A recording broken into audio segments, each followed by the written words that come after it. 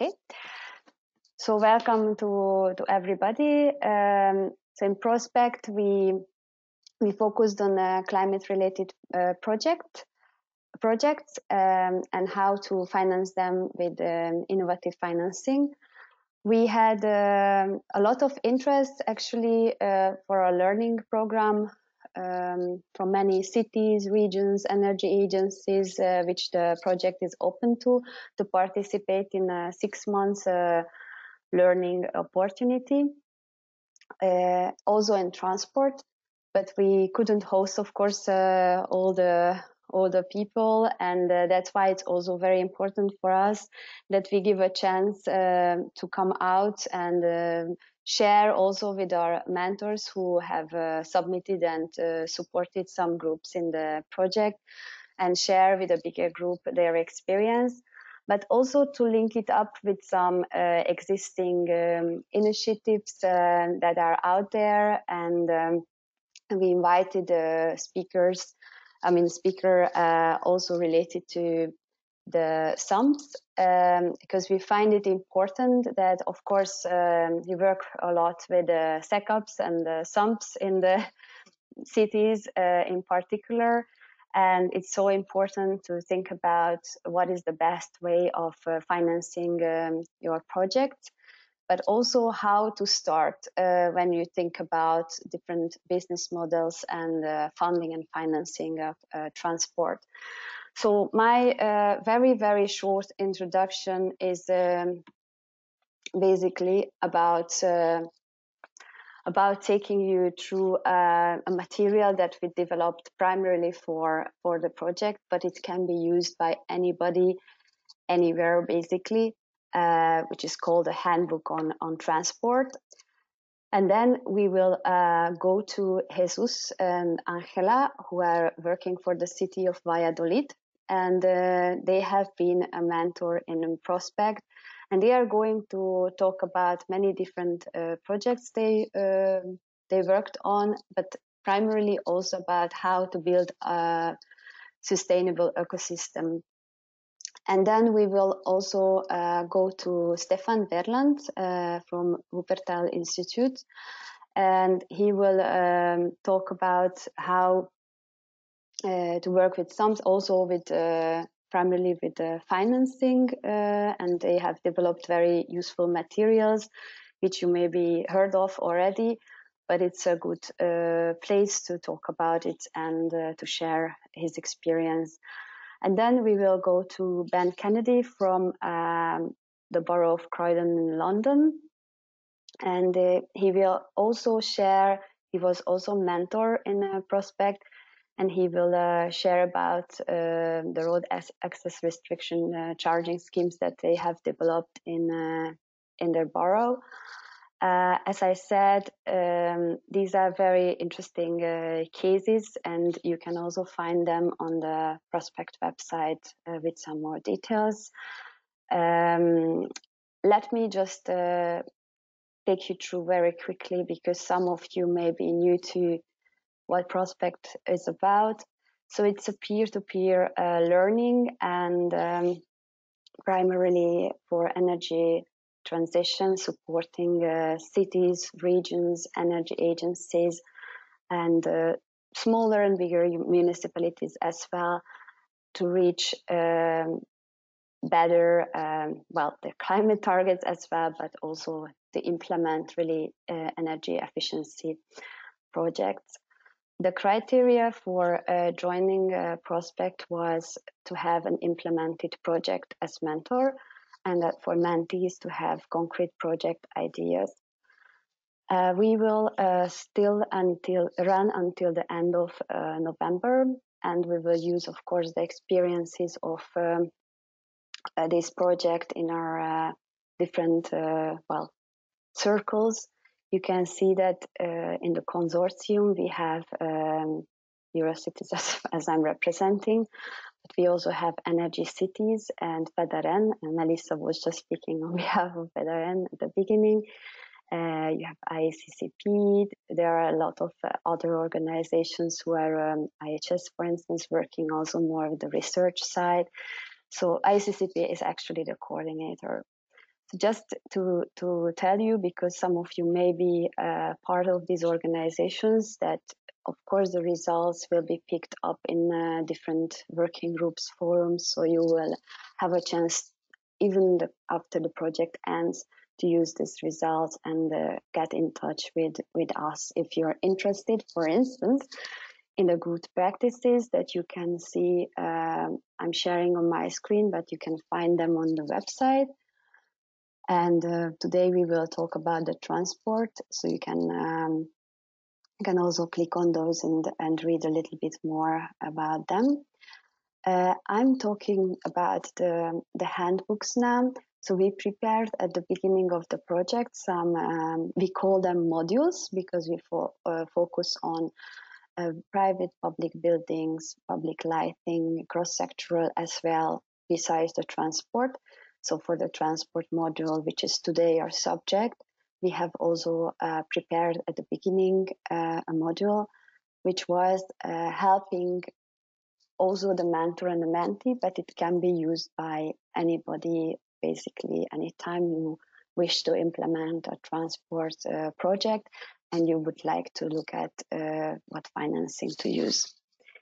Then um, so a focus of this uh, handbook, which you can download from the website of, uh, of Prospect, is uh, the management, I mean, provision and management of uh, municipal freight and mass transport, also procurement and management.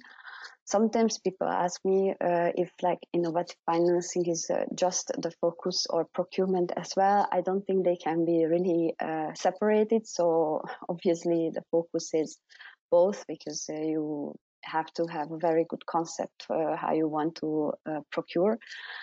And uh, sometimes even the procurement is more innovative, actually, the processes.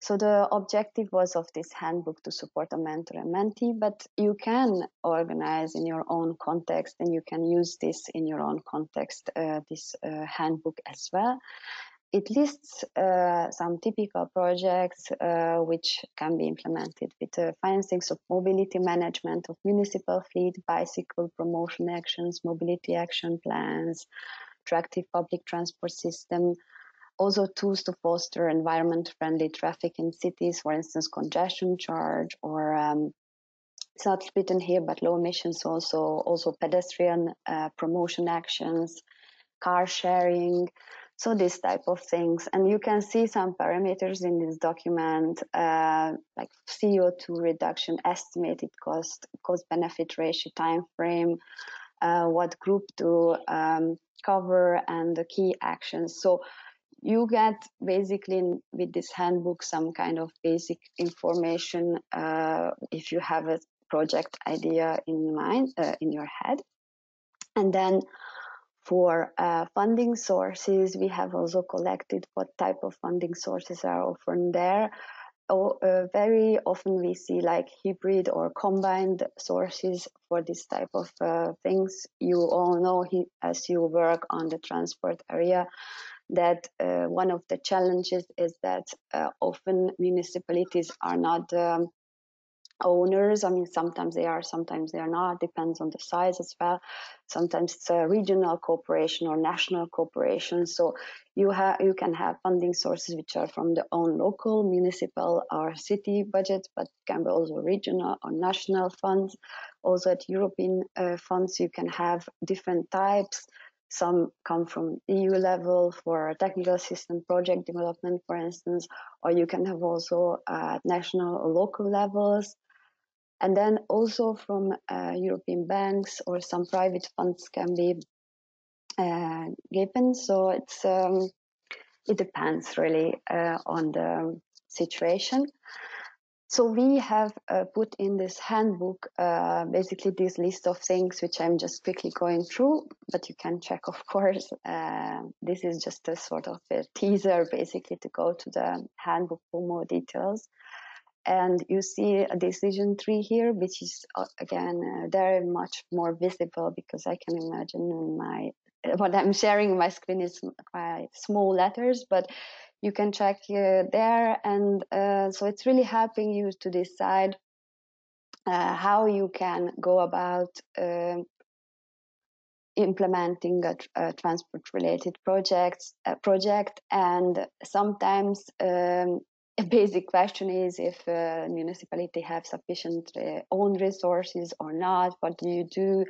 Um, if there are, uh, for instance, loans available. So it takes you through basically the, the questions that you may want to ask when you when you implement such a project. And then typically we have seen uh, some green bonds. Uh, we also had uh, some mentors like Paris in a prospect on uh, green bonds, but here you can see a list in the handbook in the handbook of um, some of the cities who have implemented green bonds, and you can really get details um, in the handbook about the advantages, the prerequisites, the phases you may need to go through. So I will not go into details uh, today. It was just to share with you that you can uh, visit this handbook and you can also get in touch with us so we can still put you in contact with um, with cities who participated in, in Prospect who may be able to help you if you plan to implement something something similar. So I would like to thank you uh, for my part. I don't know if there are any immediate questions to me. I have two minutes to take questions. I will check the chat quickly. um, okay, so I don't see any questions to me directly, but uh, some. Okay. So um, there are no questions to me on uh, on this of course, you can still write in the chat. Just please indicate for whom you address uh, the question. Then I would like to give the floor to Jesus and Angela from uh, Valladolid. You will have 30 minutes and, um, well, 25 minutes for the presentation and five minutes for, for questions. So I invite everybody to write in the chat if you have questions. I will try to give you the right to present. First of all, I stop sharing my screen. Okay. Uh, hello, everybody. Uh, good morning, also from Valladolid. Uh, thank you very much for the invitation, Bernadette.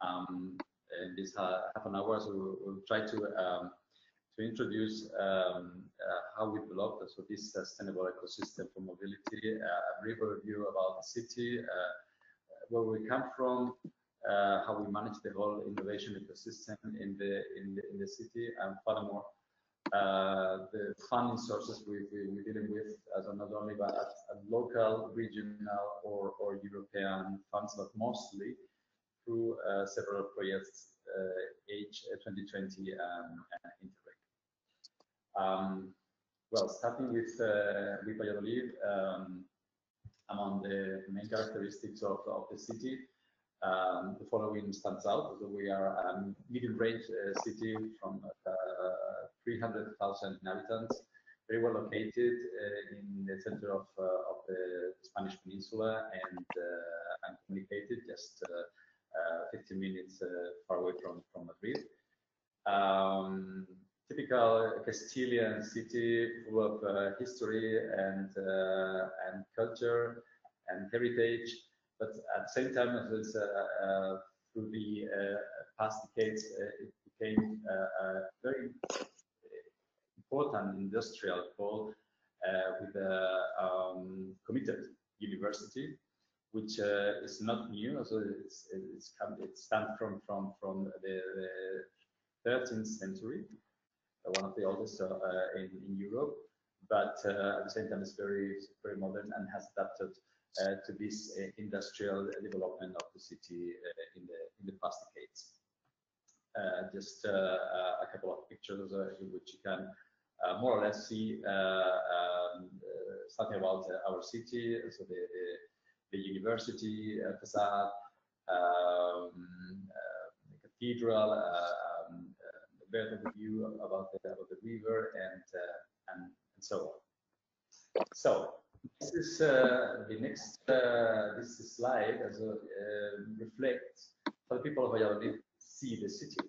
and how they would define it, what they would highlight about it. I mean, not only the, the whole green corridor um, alongside the, the, river, but also when people think about the connections, connectivity, the, for example, the, the International Film Festival, uh, the historic center of, uh, of the city, uh, the, the, city bike paths, uh, alongside the, the, the, main uh, the main roads and, and streets uh, of the city and, and so on. we've launched also this this kind of um, well questions for the citizenship, and um, we were really really amazed about how people see our city quite different quite different vision we have also from the from the city council. That's why also we we think uh, we take into account also what, the, what they explain to us also in this survey.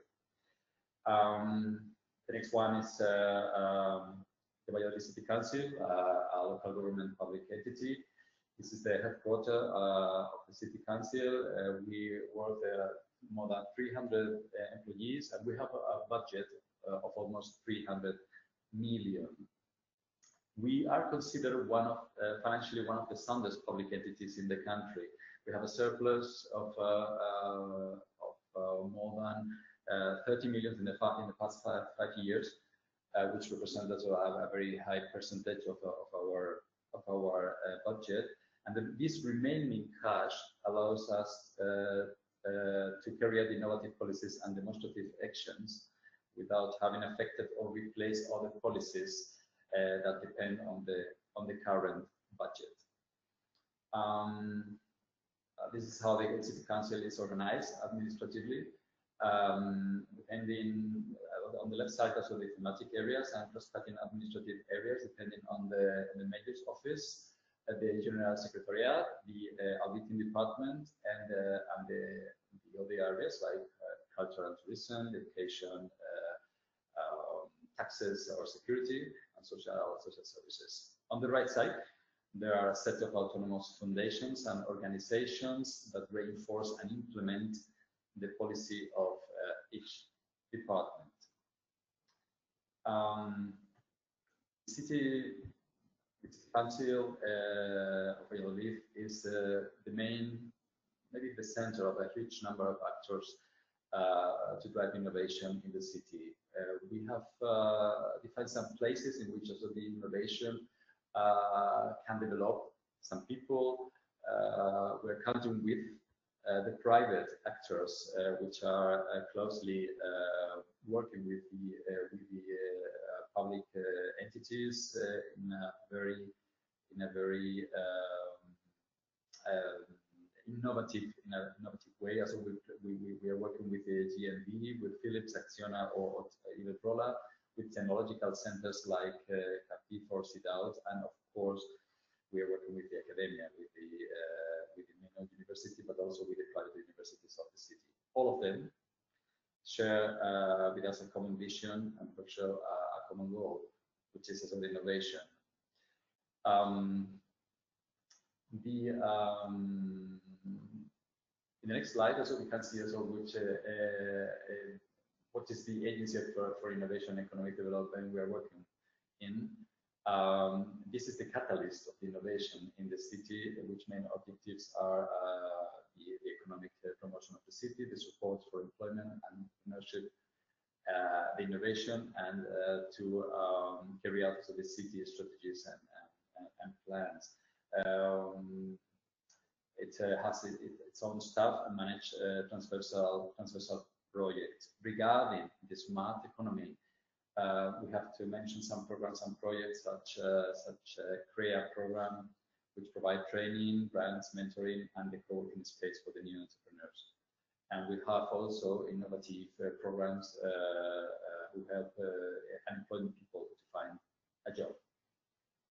Um, the um, this infographic picture describes as well the, very well the temporary development of national and international projects that have been carried out in the recent years, starting with the local agenda 2021 in 2004 through the creation of the Agency of Innovation as catalyst of the innovation in the city, uh, in 2011 and going into the integrated sustainable urban development strategy in uh, 2020 until the last group on the right side of the slide, so the last group of H2020 and Interreg projects that have, that have marked uh, um, before and after in the management of the of the city of the city project. Um, there are three uh, types of generation projects. Uh, there is an evolution of this innovative uh, ecosystem in the city, which are reflected in the generation of the of the of the projects. In the first generation, from 2004 until 2008, 10, there are concrete projects also focused on urban planning and heritage. Uh, the second generation uh, until this uh, this the last generation of the H2020 and projects were more more focused on mobility and energy efficiency, in which we integrated also the, the private partnerships. And uh, this third generation uh, represents a, a, more holistic approach in which uh, not, we are focusing not only in the mobility and energy efficiency, but also in environmental issues and, and social and social issues as well. Um, in this third generation, uh, we integrate uh, the civil society um, alongside the, uh, the, the projects. Um, concretely, to the um, to the mobility uh, mobility uh, sustainable mobility in the city. Um, the Green Valladolid Action Plan was released one month ago. It contains action lines to a more sustainable mobility in the new normality after COVID-19. Um, some of some of the of the main objectives are um, a more sustainable uh, and healthier mobility, uh, open up uh, new spaces uh, for pedestrians, uh, to enhance the uh, the bicycle lines, new lines, and better connected network. Uh, mostly in the center of the city, uh, to improve infrastructure for public transport, even with uh, already existing lines for this public transport. Um, the adaptation um, of the high peak public transport demand through changing mobility patterns for a better balance uh, um, with public transport offer, avoid traffic through the center of the city, just uh, trying to uh, make the center of the city, historic center of the city just for pedestrians, and to um, anticipate issues and risks about uh, about the parking parking slots. The um, the deployment of this the action plan tests evaluates uh, over this short period uh, the scenario of new normality and beyond and then validate also the first results of the activities, action and measures put in place uh, in the in this action plan, and also readapt uh, the mobility conditions uh, in the in the in the city. Um, we also implement uh, in this uh, Green Valladolid Action Plan uh, a counting system in the, in the pilot to gather information required to measure people talk, taking buses and consequently to help incentive the responsibility uh, and to um, to incentive also the sustainable mobility pattern they have to they have to take. And last, it defined incentive mechanisms for the better adjustment uh, of the bus demand to the offer and stimulates also uh, people towards more sustainable routines and, and habits. Um, we are also integrated. Um, the city is also integrated in some in some um, um, networks, international networks where we are working with. In some of them, most of them, so we are uh, working in mobility issues. Um, I think it's quite important to highlight this slide because uh, we are part not only from uh, to, to, to the Spanish Smart City Network, uh, RECI and Impulso, uh, ruled by the Ministry of uh, Economy and Technology, but also international and international um, networks which stand, of course, at Eurocities on one side, but then the other side is all the international network of Michelin cities. Um, great part of our so-called successes of, uh, of, of, the Agency of Innovation comes from being part of this uh, writer networks, uh, participating as actively as possible in the in, with, with our limited resources as well. Um, I wanted to uh, highlight as of the next uh, in the next slide as of the, uh, the Sustainable Mobility Laboratory, which is launched also by the International Network of Michelin Cities. Um, national um, pole of expertise on sustainable mobility, which aims uh, to set up experimental solutions at the territorial level with an active participation, not only public uh, public authorities, but also uh, private of economic players uh, and citizens. This, this, this laboratory provides uh, solutions for the sustainable mobility and improves the uh, air quality, implements sustainable urban mobility plans, good practices in the operation of uh, electric bus lines and the e-mobility clusters, and take into account the environmental challenges uh, for uh, urban good transportation. The first bilateral meeting between Clermont-Ferrand, the, um, the, the um, host city of the of the international network of Michelin cities and uh, and Valladolid uh, was uh, two days ago. Um, the promoter city, Clermont-Ferrand, uh, uh, presented different issues um, which were discussed, such as the problem associated with urban logistics, the drafting of public-private agreements, and the public procurement associated with innovation and mobility uh, issues uh, related mostly to the implementation of uh, the hybridization of the future of the future projects. Um, the lessons as an agency uh, we've learned uh, can summarize uh, in, the, the, next points. Um, recognizing where we come from and what resources uh, we have. Um, being humble, but at the same time uh, very ambitious uh, to, to get a new project, counting on the work of the right people uh, I think also we have also a, a very a very committed and, and technically uh, very advantaged uh, people in the in the agency, which is quite rare for um, um, an institutional agency uh, being part of the of the city council. Not only not I'm not talking about also technical technical research centers, but talking about also the the, uh, um, the, the city council we try to avoid also working individually, but take into account the capability of uh, every group, uh, every group, and uh, we try um, to be transparent. But of course, of course, we're working with um, for a multidisciplinary team. I give the floor also to my colleague. So, Okay, uh, thank you. Uh, well, uh, in this case, I would like to, to highlight in this slide well, we we have been talking about uh, city strategy, with, in our case is our strategy Knowledge 2020 plus, and it's important to, to highlight uh, well how to allocate uh, our strategy in the in this case in the mobility topic in, in our uh, thematic objective of low carbon uh, economy. Uh, the second one important point here for us is well to create and to identify the really well our local innovation ecosystem as uh, has it has mentioned but but uh, by Jesus because we have to identify who is uh, who are the main the, the important and the main stakeholders in our territory, but also also beyond.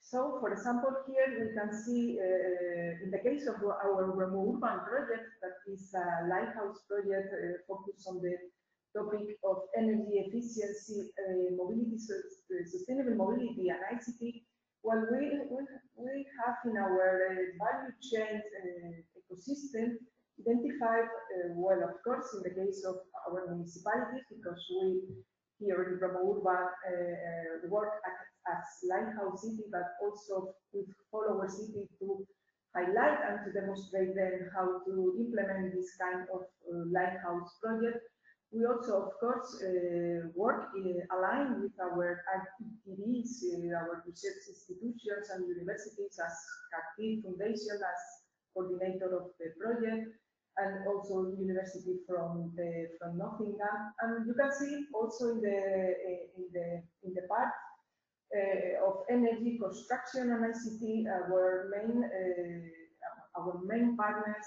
and also focus in the case of industrial with energy suppliers, construction company, ICT, and of course, uh, uh, the, to highlight the importance of dissemination and exploitation of, of, of the business model of uh, a kind of projects as renewable um, we would like to highlight here the, this nice tool that probably uh, some of you know, know it, that is uh, well the dashboard on, on the Horizon 2020 funds that you, you have here the, the link and then you, you can go through, through it.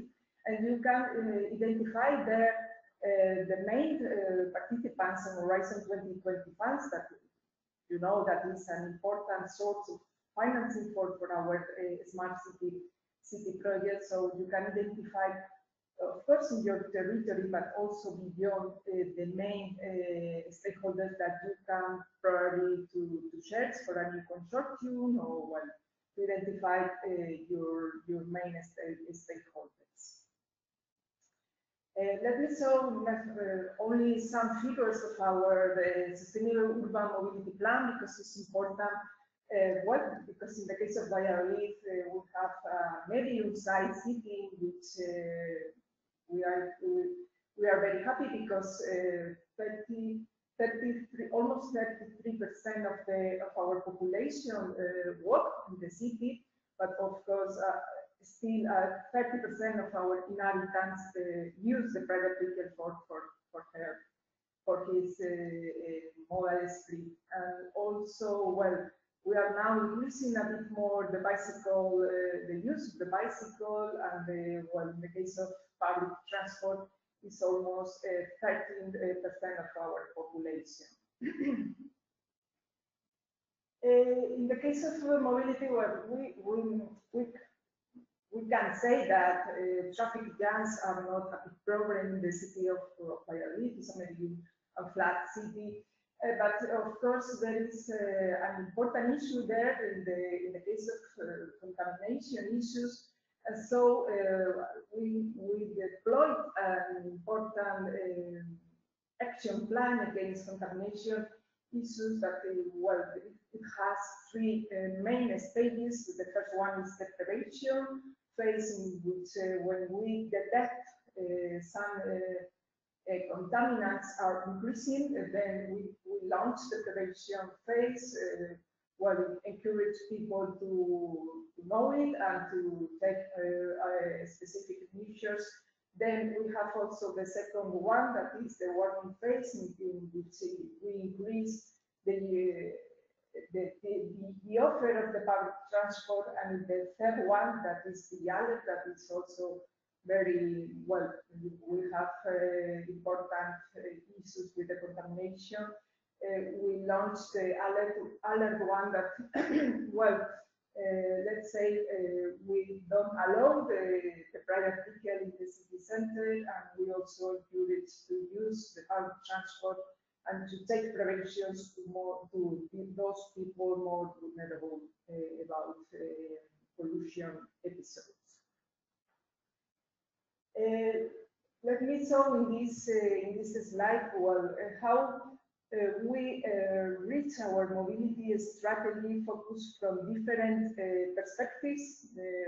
of course, in the heart of the strategy, we have the, the, the, citizens, the people, in which well, it's so important for us to engage them in the in the design of the of the sustainable mobility strategy with, um, for example, we have a specific project P4 Trans that engage them to, to, to help us to define uh, our mobility strategy uh, using tools as uh, citizens panels and they can also well, uh, participate in the budgeting for, for, for how to enhance our mobility infrastructure.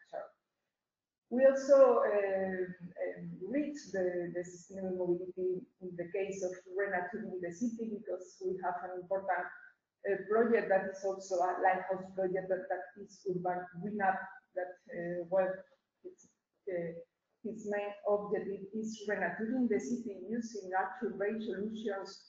And well in the case of mobility we do uh, that um, make more eco-friendly our uh, our infrastructure with green bike, bike lanes, also with green canopies in the in the street for savvy pedestrian stones, also with green facades and so on. As I mentioned before, in the case of uh, electromobility, we have a REMOURBAN project that was uh, enhance our public transport with the use of uh, e-buses charging via Pantograph, and also, well, uh, of course, the importance of ICT technologies. For example, we use with uh, transforming transport project, we use data technologies, data and business intelligence technology uh, to enhance our uh, traffic management control and to enhance, for example, the load and load zones in the in the city. And also a, a very important smart city project in which uh, we use um, mobile phone technologies to um, to to gather all the services of the all, all the services for citizens in mobile uh, services. And finally, uh, this is the, the last one, I think. You can see here our, well, our um, holistic approach from different uh, perspectives. For example, you can see in the previous uh, one slides that we use multiple sources of financing for, because our projects are financed by Horizon 2020, but also by ERDF, Interreg cooperation is also very important for, for, for us.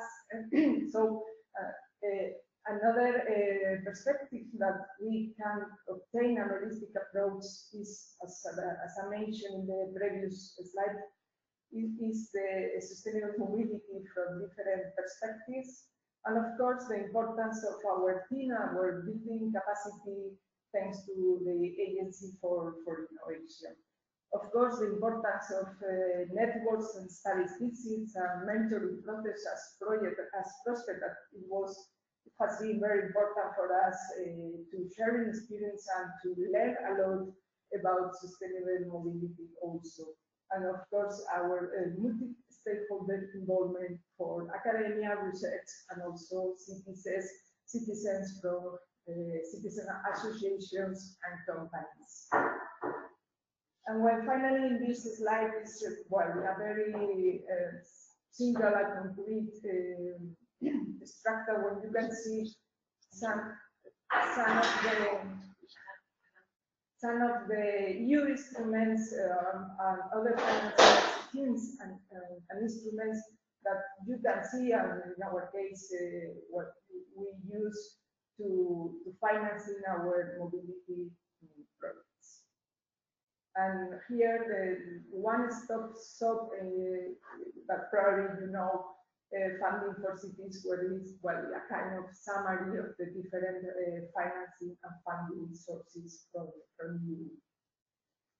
Well, I think that uh, this is all from our side. Um, if there are any questions, of course, we are here for, for answer that. Thank you very much, Angela and Jesus, for uh, for your presentation. Uh, there is one question in uh, in the chat. Uh, how do you secure political support for your initiatives? Well, actually, um, as I said, so we have uh, gathered um, in the last five, six years in Valladolid, so we gathered all the, the, um, city council areas order just to launch some projects uh, commonly and uh, um, on one hand, so we have the, we have the majors, which is fully committed also with these projects, and on the other hand, uh, we have to rely as, a, as a transversal agency, we have to rely on some other areas like uh, um, um, security, mobility, uh, or, or tax, uh, or, or, or, what some other areas, you know, uh, environment as well. So um, um, the political commitment of the of the councillors are are fully uh, once they have uh, seen as a result of some projects and uh, uh, once they have also seen as the reaction of the citizenship uh, as well. Take into account that, that on one hand we have REMOURBAN, on the other hand we have uh, Euro and Green There are two H2020 projects which has a lot of actions and and which are implemented in the in the city um, the, the citizens have have seen as well uh, through the last uh, five years or so, not only um, electric vehicles in the city, but charging points as well, the greening of facades, uh, um, a green city pathway, and so on. So some a lot of measures which are which were announced uh, five, six years ago uh, in the city, but uh, nowadays as well are very, very well known and and uh, from, from from the from the citizens. And these these have uh, the, the, perception of the of the politicians and uh, is fine and and, and they have they have taken into account also this this perception and also uh, had uh, committed also with the with the actions of the agency. Thank you very much, Jesus. And uh, I would like just to add to this that um, it was really really impressive when uh, because we had a study visit in Valladolid uh, with Prospect and we could really meet also the the political level. They were fully committed. We met many colleagues also from uh, different stakeholders who contribute to your project. So i think that you really managed to build an ecosystem that is exemplary for many others who, who wish to implement this type of uh, project transport or smart cities. So thank you very much for sharing your experience. I don't see any uh, questions right now in the chat, so I will move to the next uh, speaker, but I would encourage uh, everybody to write in the chat if you have questions to Jesus and Angela then please indicate their name or put Valladolid. So at the end of uh, end of our um, webinar, I'm going to look at still the chat uh, to see if you have any questions to them, so you don't miss the opportunity. If now you didn't have, uh, you know, any questions, maybe by the end you will have. So I will take those questions at the very end of uh, the webinar. But now I would like to give the floor to Stefan. So I will make you a presenter, or do you want me to share your slides, Stefan? No, just make me a presenter and then we'll see. All right. Okay. So please uh, give a few words about yourself in the meantime, and uh, yeah, why I'm giving yes, you uh, I'm I'm Stefan Werland. I'm a senior researcher at the ARCO. There we go. Um, share and now. So this we see your screen yes it works. yeah i will quickly turn on my camera to say hello but just ah, great. since i'm hey, hey. since i'm sitting in the middle of nowhere in, in my uh, holidays i just turn this off to to make sure that the presentation is going fine. I'll be back after the presentation for more questions then. Good so there we go. Yeah there we back uh, close this. Ah. Okay, should work now. Yes, as um, said, my name is Stefan Werland. I'm senior researcher at the Wuppertal Institute for Climate, Environment and Energy, um, based in Berlin. And I will present the findings of, or the key messages of the topic guide on funding and financing, which we um, prepared for last year and which was published in the framework of the renewed SUMP guidelines together with a lot of other reports. By the way, also report on procurement, um, which initially was one uh, report with the funding and financing um, paper as you said, these issues are quite um, related, but then we, we decided to, to split these into two. So there are a lot more um, topic guides um, on the ELTIS website available. And today I'm going to talk about the key messages from the funding and financing thing. Um, and we talk Ah, yeah, and and just for the for the organization, I since I'm restricted in time, I would start with some key messages and conclusions and and uh, things, other things you found talking to cities over the last couple of days, and then briefly walk you afterwards to the instruments as far as I can get, and the rest you're going to read in the topic guide anyway.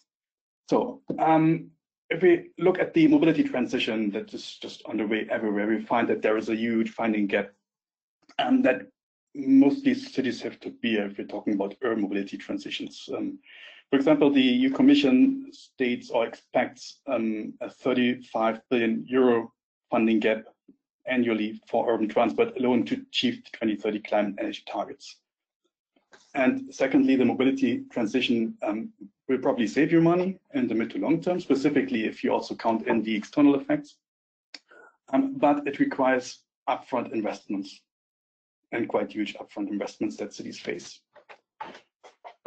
Um, secondly, there are there are different kinds of financing needs, needs which you should consider talking about the different funding instruments. There's money that you need for preparing um, an, an mobility plan, for example, or um, sustainable urban transport measures. Um, there you need money to finance your staff, either internal staff or external staff and consultants to conduct feasibility studies, to do public participation processes, and so on. Then there is the construction and procurement stage, uh, which requires higher amounts of money that are spent over a short to medium time period.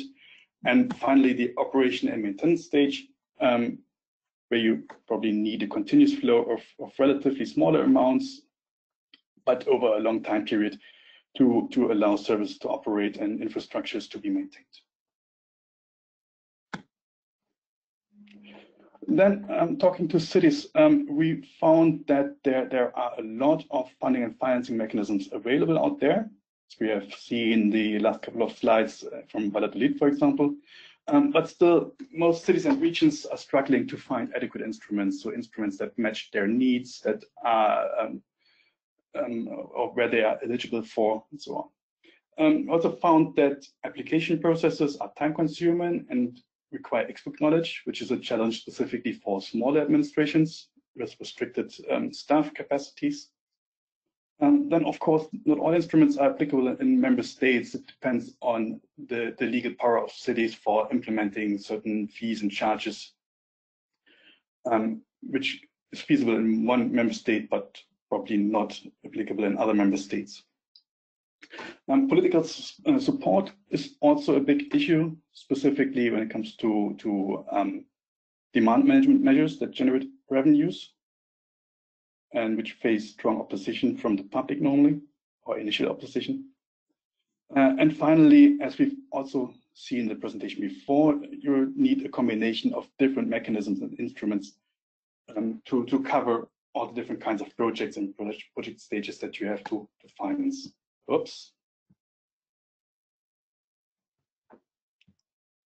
Uh, that's funny. So, um, yes, and in the end, um, in the ideal case, you would have a finance strategy with clear targets and indicators, which is based somewhere in the mobility strategy.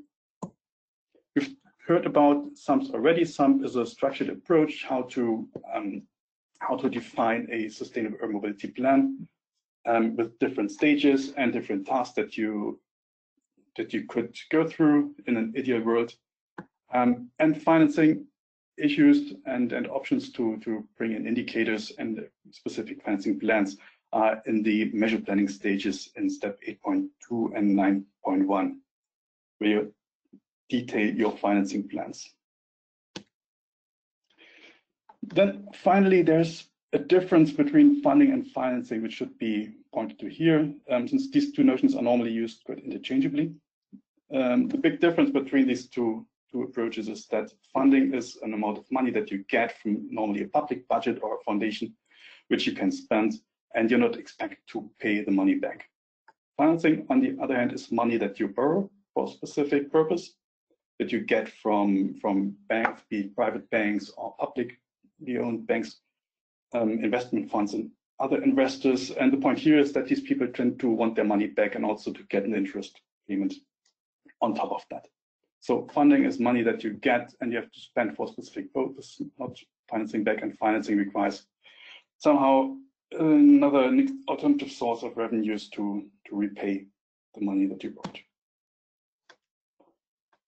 Um, this is the structure of the topic guide I'm presenting here. Um, it, it is an attempt to structure the different financing and funding sources that you have. Um, and also, normally, if I had time, I would also talk about how to reduce the direct cost of projects that you have to bear by involving the private sector. I would skip this section today due to time constraints, but um, still do this with another topic guide.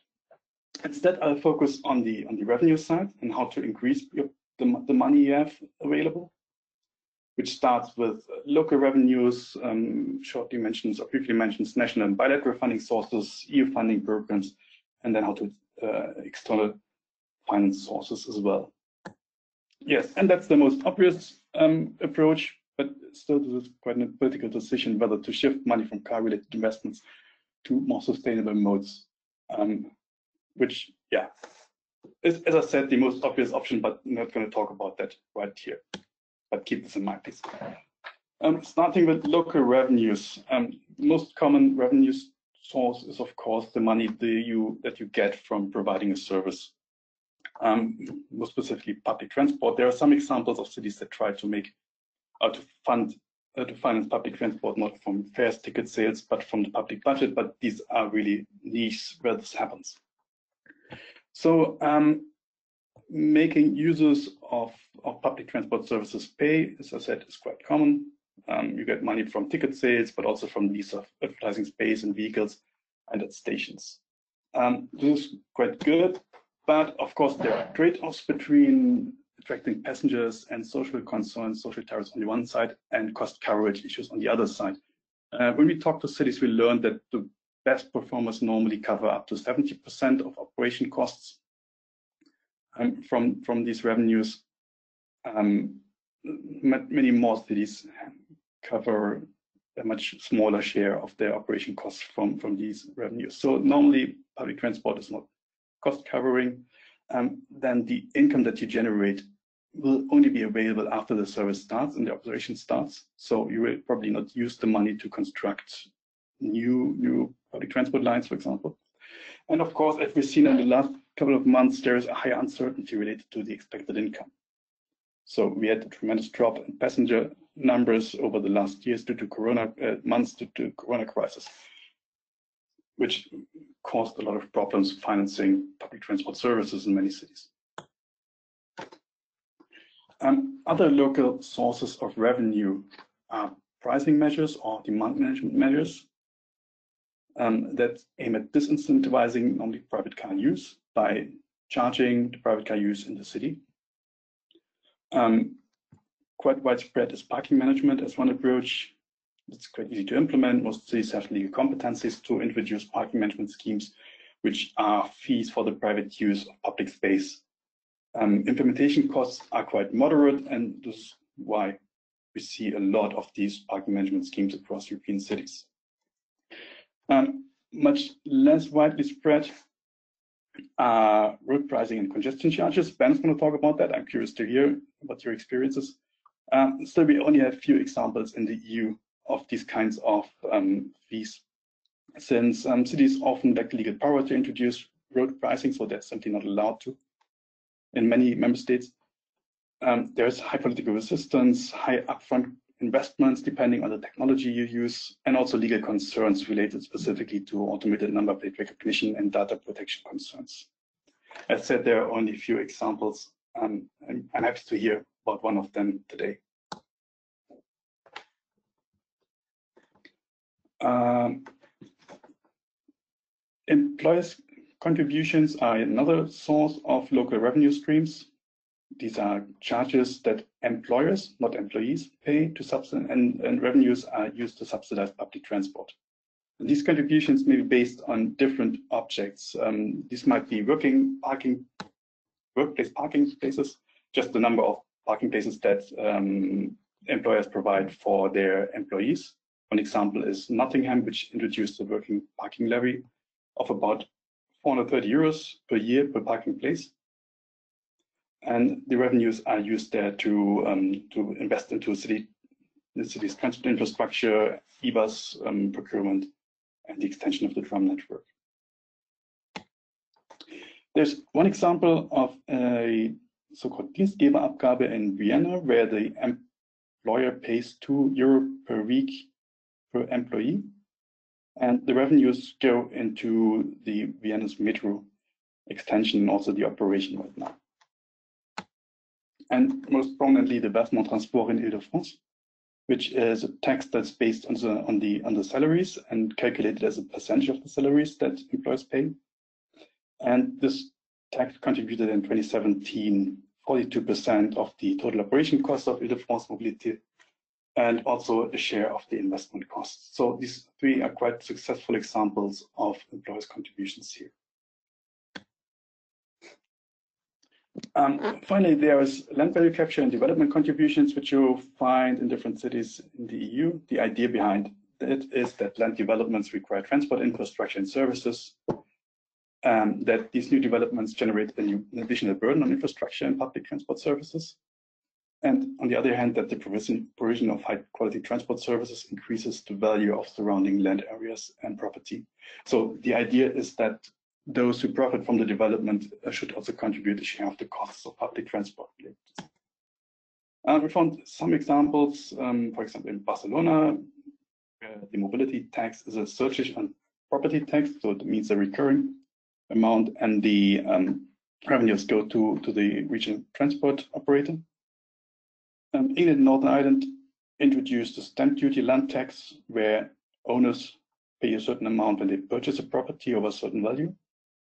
And finally, infrastructure, community infrastructure levies from England and Wales, where land developers contribute um, and where revenues are then used for public services and infrastructure. There's a debate going on whether ring fencing local revenues for sustainability is actually a good idea or not. There are arguments for that, so you have an additional source of income. And specifically related to the push measures um, parking management and and congestion charging, for example, um, it increases the acceptance when it's made clear that the revenues are used to have better alternatives to private car use. Um, on the other hand, you run into the risk that you reduce the contributions from general public budget, that you then have to rely on a less reliable source of income. As we've seen, revenues are to predict from public transport operations, for example. And finally, if you use push and pull approaches, um, you degrade your own source of income. If less people travel by car, you earn less money from, from parking management and also congestion charging.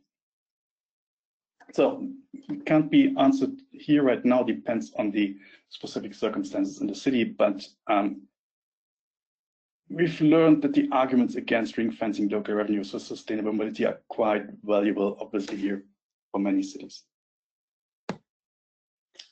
Um, very briefly to national and bilateral funding programs. Um, there's a lot going on now in the framework of Corona recovery packages, which are coming up now, so worth following that. Um, the most um, pre-Corona national level support programs focused on the procurement of e-buses, but also on the preparation and development of SUMPs. One example for e-bus procurement is the German National Electric Bus Funding Program, where the government um, took over 80% of the additional investment costs for e-buses uh, compared to diesel buses, and this included the charging infrastructure. This was quite a successful fund, obviously. An example for bilateral programs is uh, we found in, in Romania, in the city of Cluj-Napoca, where a Swiss-Romanian corporation supported the procurement of e-buses and Switzerland provided 85% of the costs of the e-buses there. So it might also be worth exploring if something similar exists for your country. Then tapping the, the issue of EU funding programs. Um, we've already heard from Valladolid um, that European Structural Investment Fund seems to be quite interesting. And these funds are implemented by member states in the region, financed by the EU, and they support economically viable projects on sustainable transport networks, bottlenecks, amongst others. Um, below the, the, the umbrella ESIF, there are five separate funds, including the European Regional Development Fund and the Cohesion Fund. Um, as said, these are implemented by member states, so the, the details differ from country to country, member state to member state, um, and we can't go into detail here. But what is interesting about these two funds is they are realigned now to fit the um, 21 to 27 um, financial framework. And five policy objectives identified right now, includes uh, Smarter Europe and the development of digital services and applications, which quite good relates to um, to multimodal transport, to digitalization in the mobility sector and the transport sector, app development, and so on. Um, Greener Europe mentions investments in energy efficiency. This probably fits well with e-mobility and procurement of e-buses and tramways.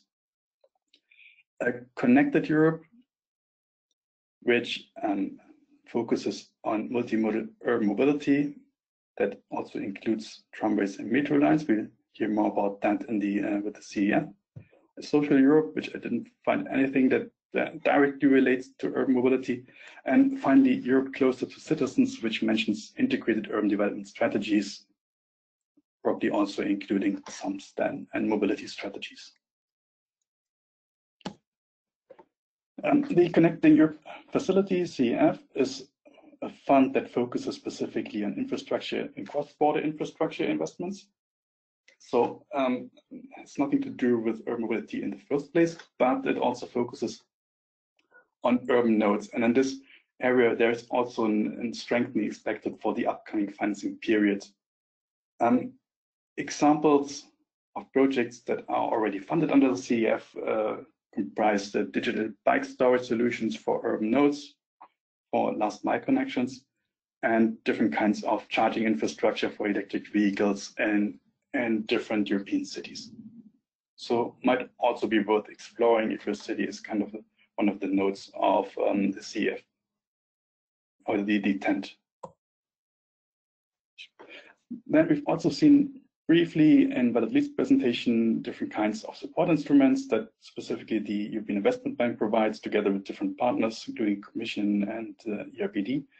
Um, just to be mentioned here, ELENA, which which provides grants for larger project developments, um, JASPERS, which supports the preparation and implementation of ESIF projects, or JESSICA, which is a financing engineering mechanisms. These, these um, programs do not support the projects themselves, but all the preparation work, which might also be valuable for you. Finally, looking at external financing, um, most obvious, there's the European Investment Bank, which is a publicly owned bank owned by the member states of the EU. And um, the EIB provides loans for, for large-scale mobility projects, the share of over 50 million euros, and which are in line with the EU objectives. EIB covers half of the project costs, the other half needs to come from other sources, and the project must be financially viable. And this is an example how Thessaloniki, for example, financed their, their metro line. They had a 50% um, EIB loan then 10% funding from the uh, Greek state, and 40 were other European subsidies. Um, the EIB has a transport lending policy from 2011, which might be interested to have a look at. So public transport is their one key area, and also the projects and schemes that are based on the user polluter pays principles.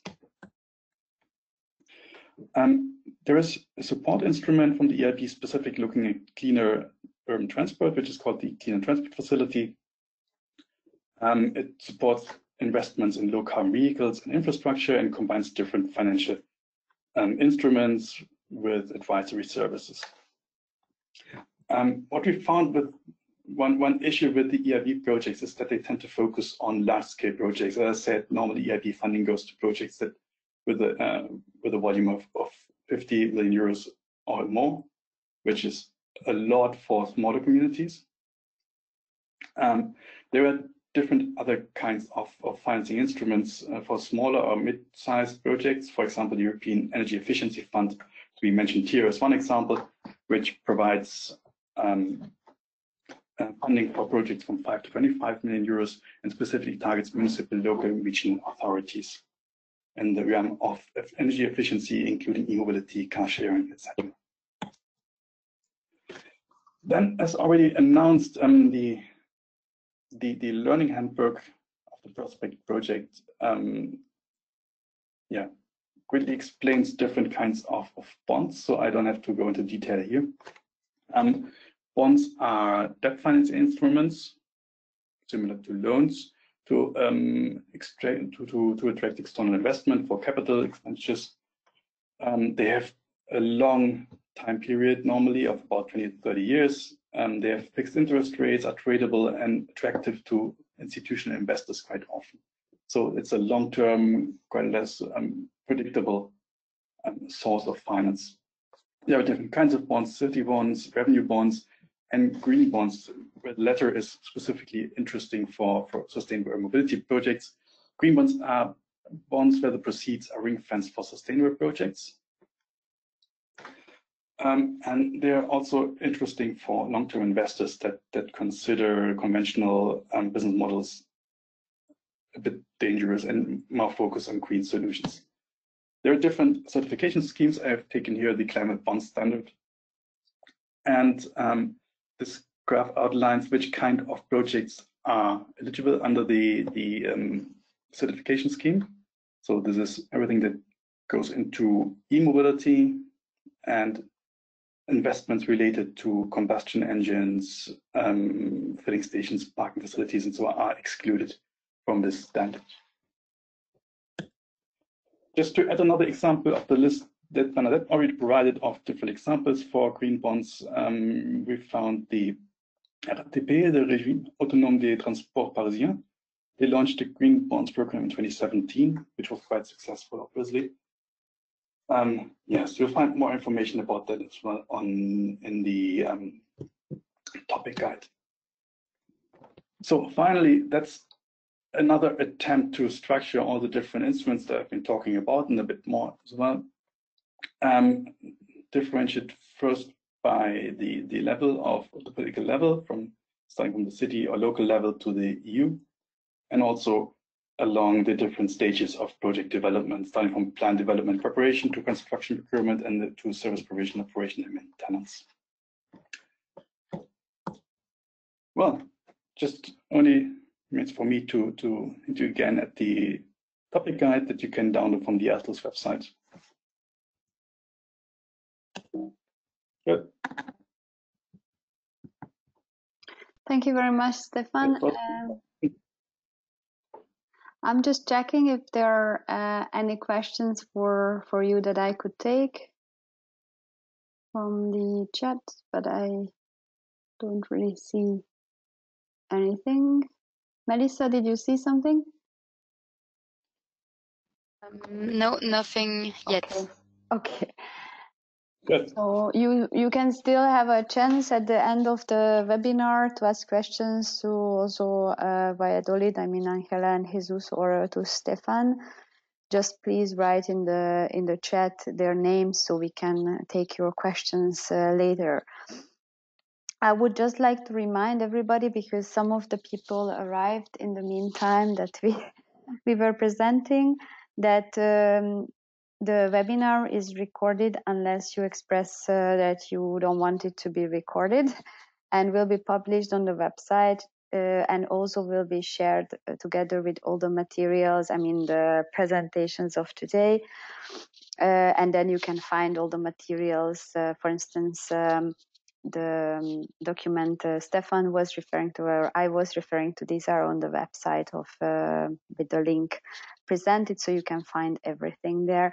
I would also like to say, uh, just to make the link between the two presentations, that um, obviously uh, Jesus and Angela couldn't go into details, but when uh, when we worked together with a group, uh, we had a study group in Valladolid. We had a chance to understand how they procured electric buses and how they built up a new business model uh, with the private sector as well.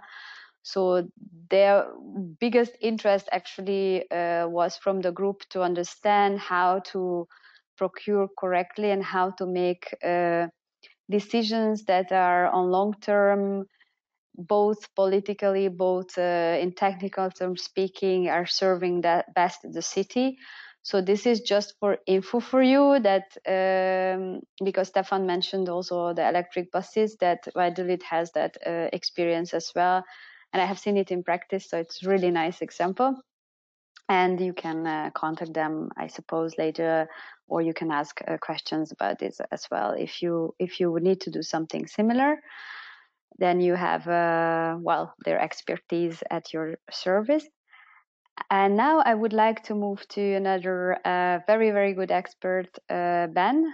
Um, ben i would like to try to give you the presenter rights so this way you can um, share your screen and we make sure that you yeah you have all the rights to do that so Ben, okay. Yeah. Please just uh, take us through a little bit who you are, and then. Of and, course, yes. Sorry. Um, and yes, sorry. Um, I'm sure you're used to working, uh, you know, with non-native speakers. Just note that there are a lot of non-native speakers, so please talk like slow as so slow possible because sometimes. Apologies. Yeah, I will try no, my best. I, I'm struggling to turn on the camera at the moment. Ah, yeah, that um, uh, that I cannot really help you with unless you click on the camera sign, turn on camera, and then it should work. Yeah. Um,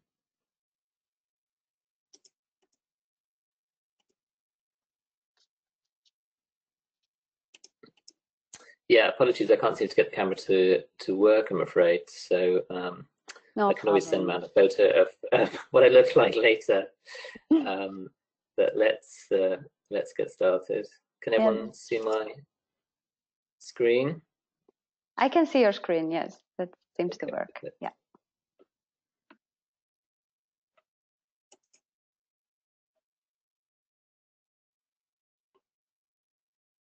Okay.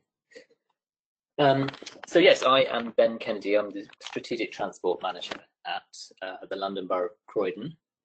And I'm going to give a, a presentation on um, sort of charging uh, schemes and, and local access restrictions in London. So I'm just going to give a, a quick overview of, of, some of the charging schemes we, we already have in, in London, um, and then I'm going to talk in more detail about some of the local access restrictions we've been delivering um, in more detail. So I think everybody obviously knows, well, I assume most people know where London is, um, and uh, it's got a population of 9.3 million. Croydon is, is one of the 33 boroughs within London. Uh, it's there in the, in the south. Um, it's uh, one of the largest authorities uh, within the city, um, with a population of about 400,000. And of those 400,000 residents, they have about 158,000 cars. Um, if we were a standalone city on our own within England, we'd be the eighth largest city um, in England. However, um, because we're just a suburb of London, uh, we just kind of get absorbed with, with the rest of Greater London. But we're planning for 40,000 homes in the next 15 years. So we're going through a period of, of regeneration and growth. Uh, and we're, we're currently home to London's only tram system. That's about our claim to fame, really. Uh, just an overview of, of, the existing charging schemes in London. Uh, I think everyone's aware of a couple of pan-London cordon schemes where, where vehicles are charged for entering um, an area uh, based on their emissions or um, or just for entering that zone. The first one is the Central London Congestion Charge Zone, um, abbreviated as CCZ. Uh, this is where you pay to enter during certain hours um, during the daytime. and that generates approximately 170 million euros income for um, the city.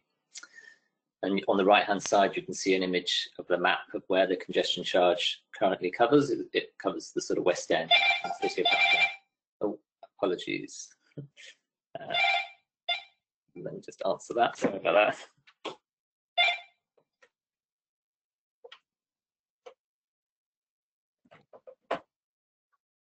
Right, apologies about that.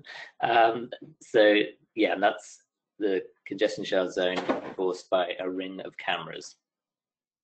We then have the ultra low emission zone, the ULEZ, um, and again you pay to enter if the vehicle doesn't meet certain emission standard.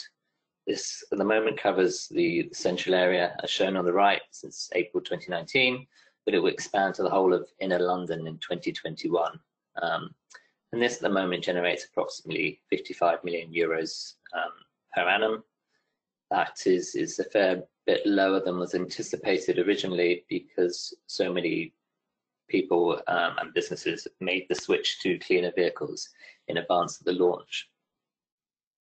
We then have the London, the low emission zone. Apologies, it's, it's quite confusing all these zones. This is a London-wide scheme targeting uh, the larger, more polluting vehicles such as lorries and buses, and they will have to pay to enter from um, October 2020 if they don't meet the emissions standard.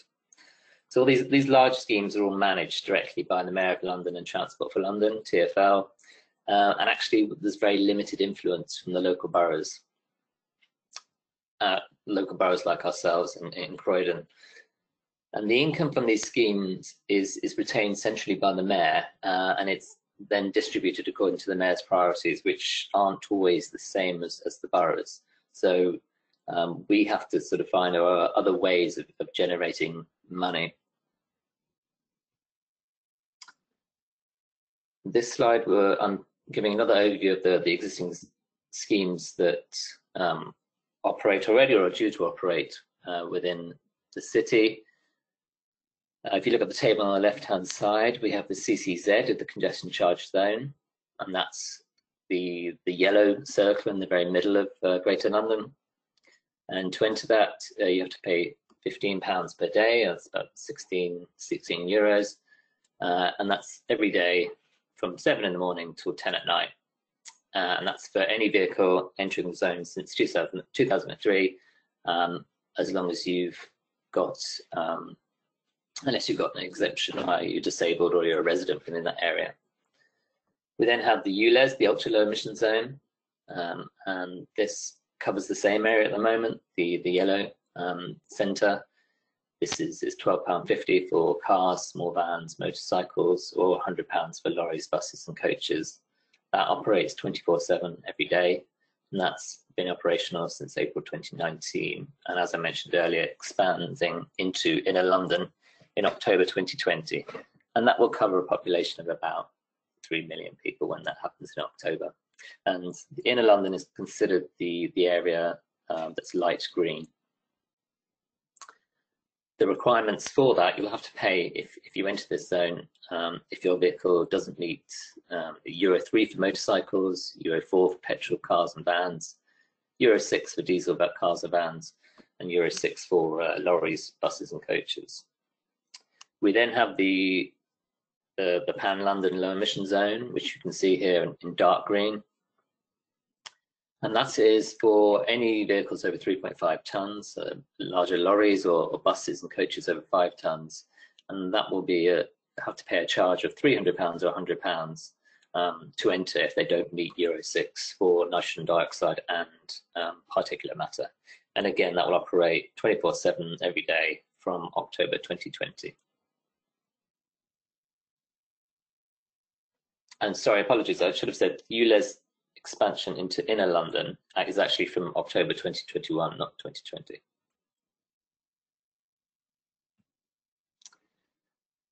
So um, yeah, TFL manages these bigger schemes, but us within the boroughs, we we, we don't have the resources to implement um, and deliver these these larger charging schemes.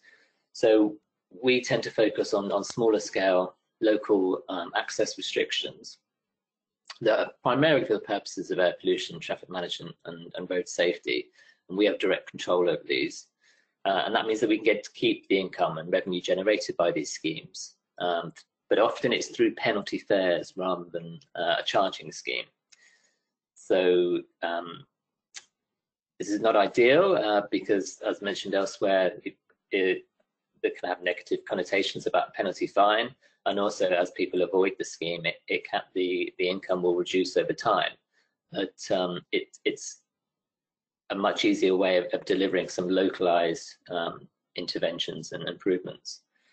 I'm going to primarily talk about Croydon school, school streets. These are access restrictions outside busy destinations, mainly for congestion, emissions and road safety reasons, but also give a brief overview of um, zero emission streets, which are the access restrictions being introduced in response to air pollution. Uh, and then there's also Bank Junction, and this is an access restriction for um, giving priority to buses and cyclists uh, to improve safety for um, vulnerable road users such as pedestrians. Um, I'm just going to talk about school streets. Bernadette, am I talking too fast or yeah. I, should I slow down a bit? No, it's all right. It's perfect.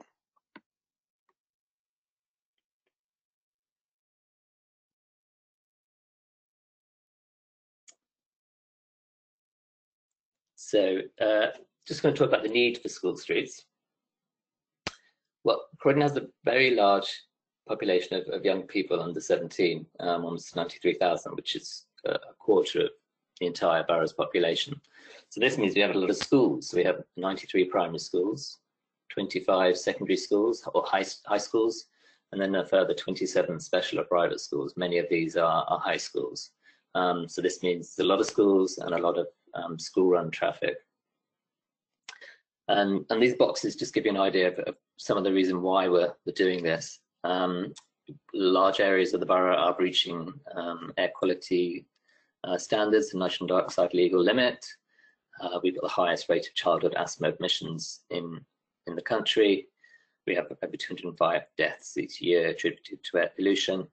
And shockingly, 40% of our children and 60% of adults overweight with um, and just 26% of residents are getting their minimum active 20 minutes um, active movement and exercise a day.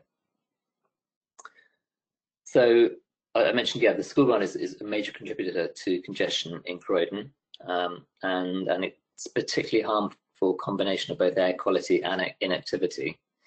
And that's um, fear of cars and fear of traffic then influences parents to drive and it's self-perpetuating. The more people drive, the more people are scared to walk and cycle to school. So this is why we felt that something had to be done. Um, and why now? Well, public opinion certainly changed. Um, we found both um, across the media and, and the responses, um, the engagement we have with the community that um, it, it's no longer tolerated and no longer acceptable for people to to park and um, and cause congestion and air pollution in schools. And we as local authorities, we do have a duty to exercise our powers to um, ensure that the, the roads are moving safely and there's um, limited congestion. And, um, and we have to take into consideration the National Air Quality Strategy. Historically, parking enforcement um, has proved very ineffective near to schools. We send along the parking wardens um, the parents have parked, sat in their cars, they see the, the parking warden coming along and they drive off and, and we can't enforce. We, um, our parking services team uh, are relatively large for outer London uh, and they operate camera enforcement of, of decriminalised parking and moving traffic contraventions. So each year they, they issue about 105,000 parking contra contraventions and 80,000 moving traffic contraventions. Um, and I appreciate in, in London, local authorities and councils have the powers to do this and powers to issue fines, whereas elsewhere in the country and elsewhere in other countries in Europe, um, this is often left to the, the local police. So now in Croydon we have 11 school street schemes covering 16 schools, uh, with a further 10 under development and due to be uh, launched uh, in, in, the next six months. But the plan is to reach 50 schemes by, by 2023. Just to describe what actually what a school street actually is, is a section of road outside the school and near the school, which at the start and end of the day is, is restricted to use by pedestrians and cyclists, and uh, most motor traffic is prohibited.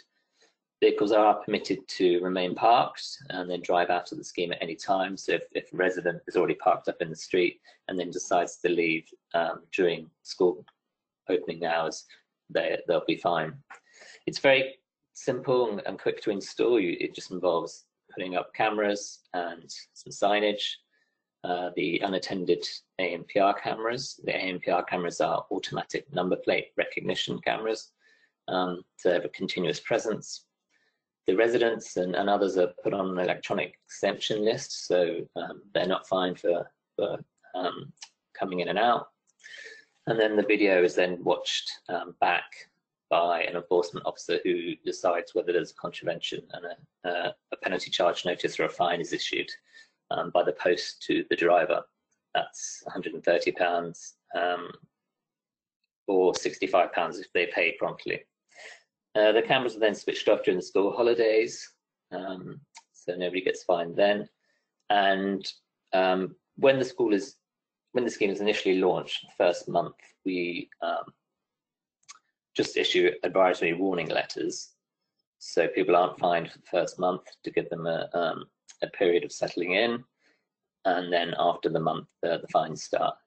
And I'll just show you a quick video showing um, this is what the, the enforcement officer sees when they watch the camera. This is the car turning into a school street, almost getting hit there. um, and now it's, it, because it's past the entrance to the road, it's a contravention. And they'll be sent a ticket in the post.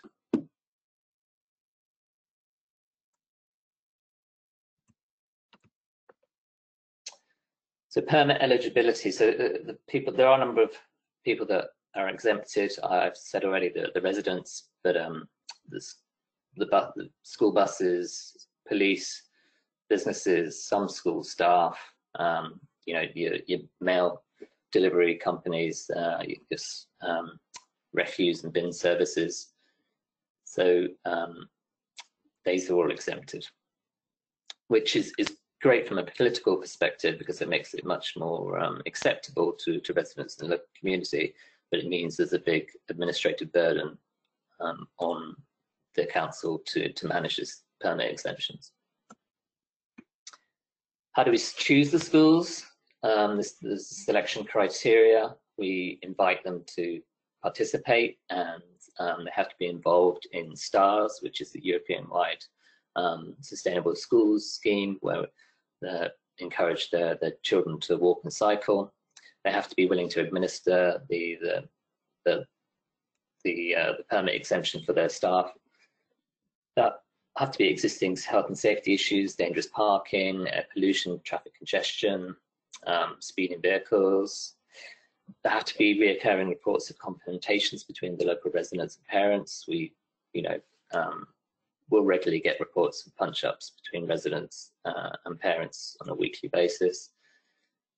Uh, there has to be a tolerable impact on traffic movements um, in and around the surrounding areas. So by putting in the scheme, it doesn't cause chaos and in fact, uh, impact on local public transport. Uh, there has to be an alternative. Um, the, you know, if the school's at the top of a hill with no bus nearby um, and it's you know it's too tough to cycle there, uh, then we probably won't put it in because um, it's not realistic for them to use anything other than the car. We'd also only identify schools that, um, where at least 75% of pupils live within 20 minute walking distance. And then we, we prioritize schools that are within designated healthy school neighborhoods. And these are locations where there's particular um, problems with health, health deprivation and, and air pollution. So these are two examples of, of schemes where um, school streets have gone in. One was preferred and, and one was not preferred. So Norbury Manor, um, this is a nice simple scheme on the left-hand side. It's, uh, it's one road, there's simple diversion routes um, for drivers to take. there's quite a small number of, of residents and houses within the zone, so it's easy to manage the permit exemptions. On the right-hand side, this is a much more complicated scheme. There are over 107, 160 addresses um, and residents that need to be managed. There's bus routes nearby, and there's a lot of signs and um, cameras need to go in to make it expensive. Uh, we weren't very keen on going ahead with this scheme, but uh, because of political pressure, it did go ahead and, and it has proved to be successful. The implementation process, um, we deliver this through what we call um, a traffic management order. It's a local bylaw where um, permit holders are exempted, and and this really makes um, creates it's created it a pedestrian zone, so only pedestrians and cyclists can enter um, unless you've got a permit. Um, we can go either the permanent route or the experimental route um, when making these traffic management orders. The experimental is normally the preferred option because this means we don't have to go to um, consultation um, before the scheme goes ahead. We can say that we're delivering the scheme for six to, to 18 months and during that period that will be the consultation period and at the end of that period we'll decide um, based on the, the, responses and the consultation whether to make it permanent or remove it. We can deliver about 10 schemes a year, um, but only we only can only cope with about three starting each month. Um, and what we've learned really is, is working with schools and um, through the education, uh, it's the behaviour change that is, is key. Um, and if we can get the schools and the parents on board, then the impacts can be dramatic. And this flowchart on, on the right hand side gives you an idea of, what the process uh, for delivering these schemes is. Just talking about compliance and, and the financials, uh, the average scheme costs about uh, £45,000, 48,000 euros, um, and that's mainly because the camera costs. The cameras are the most expensive um, cost. The operational expenditure is about £40,000 per annum, uh, but this is similar for one scheme as it is the same for one scheme as it is for several schemes because you're paying for somebody in that back office to um, monitor the the parking um, contraventions and to manage the the permit exemptions. The revenue and the income that can be generated from each scheme varies from about 76,000 per year to 230,000. Um, and this income is ring fenced to be spent on delivering new new school streets. The um, the range in, in income depends on the type of scheme that uh, we're going ahead with. Uh, if you look on the right hand side, you have um, the two images of, of um, school maps. The lower one is a cul-de-sac or dead-end street. The upper one is a through street. And, you know, logically, you're going to get more contraventions and fines for uh, a through street.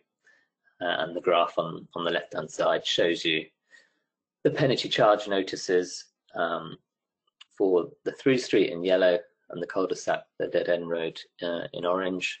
And that's from first month of the scheme starting uh, through to 18 months afterwards. And there's a dramatic drop-off in the first six months, and then the level of, of PCNs plateaus and stays stable. Public opinion um, initially, we, we, we got a lot of pushback from the media and tabloids, um, as you can imagine. But actually, there's there's been a really strong public support, and um, most people felt that the the situation had got so bad, and, and children should be walking to school. Uh, and there were concerns about parking displacement onto neighbouring roads outside of the, the zones, but these were, were largely unfounded. So the outcomes, um, the outcomes have been overwhelmingly positive. Uh, the um, there's a massive increase in uh, active travel, um, going up um, dramatically between the first before implementation and, and afterwards, um, and the car use uh, has gone down dramatically um, and public transport use went down slightly. Head teachers suggested that children who turned up were much more punctual, alert and happier. uh, increase in uptake of school breakfast clubs, and, and this contributed to both better learning opportunities and health outcomes for the school.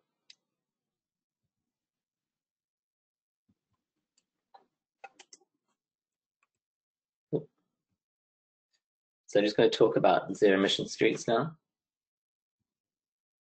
Um, this the first one that I, I, was involved with early on was uh, Beech Street, uh, and this is a covered road, a tunnel underneath the Barbican Estate in the centre of the City of London. Um, and it's an area that had very high pollution levels. Um, because it was a tunnel, um, but also you had lots of pedestrians walking through in close proximity to the vehicles, so there was really high exposure levels. So the proposal was put forward to, to make it a zero emission street in which only zero emission vehicles be allowed through the tunnel. This was introduced um, as an experimental scheme over 18 months and it operates 24-7 every day of the year.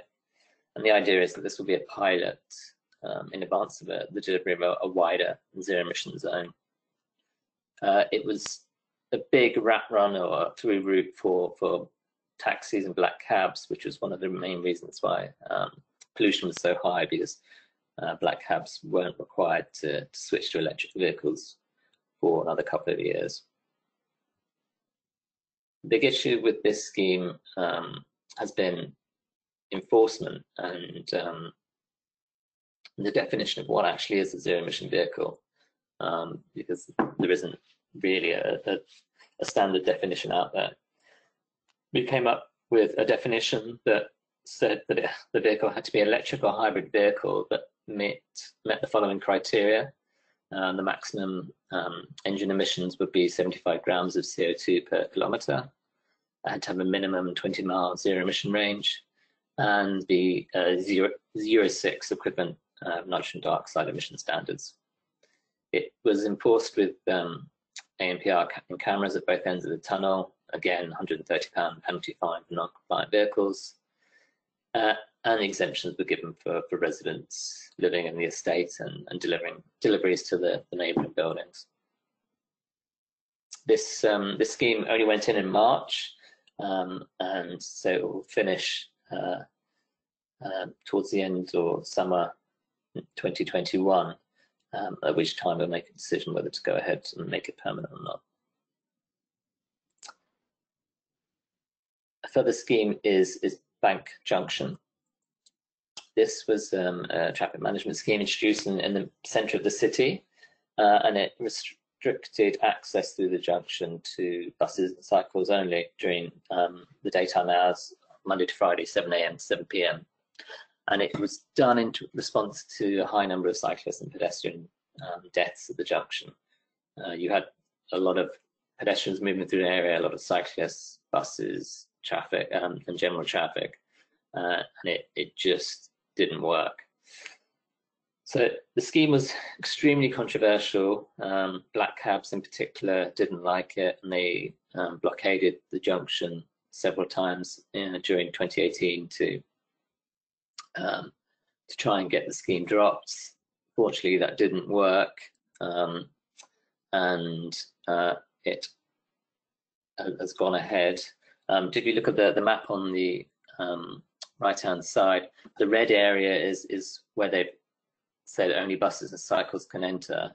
Uh, and you will see that the, the blue is where um, there's local access for deliveries and the vehicles are required to, to turn back and, and do a U-turn in, in, some locations. Um, again, this is enforced through ANPR cameras, £130 fine for non-compliant vehicles entering the junction. The City of London Corporation is the local authority for that area, actually made 12.5 million pounds in fines in one year, um, which I think is a record. And um, but what they've done is they've used this income to uh, make the scheme permanent. And they're also uh, got plans to widen the footways, close off some of the arms, and pedestrianise some of the streets, uh, and just generally improve the junction overall. So the real positive come from it. And I think yes, that is it. It's a bit of a whistle stop tour. Um, apologies. I hope I didn't go too fast for everybody. Um, please let me know if you've got any questions, and, and that's my email address if you want to follow up. Thank you very much, Ben. I think it was perfect. Uh, it was very well structured and, and very clear. Um, I have one question. I don't see anybody yet in the chat for you, but I have one question for you. In the meantime, I let the others think and uh, write if they have questions. Um, you mentioned, and it was very, very short, about the public opinion. And um, it would be interesting to hear uh, how much time or how did you build up, especially for the school streets, school streets, sorry, uh, the public opinion that it would be supportive uh, towards your project? Because I suppose it wasn't an easy task, and probably it's something that interests a lot. Um, I, I, think uh, we had a lot of political support, um, which which was very positive.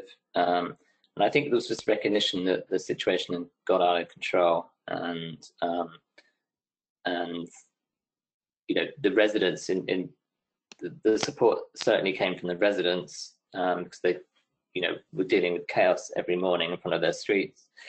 Um, then we had to get the schools on board. Once the schools were on board, um, we there was an assumption that the parents probably wouldn't be very happy about it whatever. Um, and, but we, we sort of plowed ahead. And although there was a lot of objections at first, um, the, the, parents then came round and actually were very supportive uh, and realized the benefits of, of, of the scheme. So if we ask you about the time frame that you would need to dedicate to that, what would you say? How much time should you invest in yeah building up uh, public opinion basically. Uh, so i i think we we probably spent about three months um, in preparation with each scheme engaging with with the local community um, engaging with the schools. Um, so yeah i think there's a sort of three month leading time on the consultation and, and stakeholder engagement front. Mm. Okay, thank you very much. I just wanted to ask this question because often uh, this is something that um, you know we hear from from your peers as the main question. I have a question in the chat. That's great. Uh, you got a compliment. Great presentation. Are ANPR cameras also used to enforce things like keeping private cars out of uh, cycle lanes? John is so, asking. Hi, John. Um, so historically we weren't able to use the cameras to enforce that. Um, it was withdrawn, so we're not allowed to enforce parking. So if somebody parks on double yellow line, um, we have to ha normally has to be witnessed by a, a, traffic warden, and we can't use an ANPR camera to enforce parking um, fines. However, in response to the COVID pandemic and the, the rollout of cycle lanes that is happening across London now, uh, because we're being encouraged not to use public transport, the government has allowed local authorities to start enforcing parking on cycle lanes using ANPR cameras. So that is certainly something we are now looking at and um, and and will be be, be enforcing uh, through cameras again.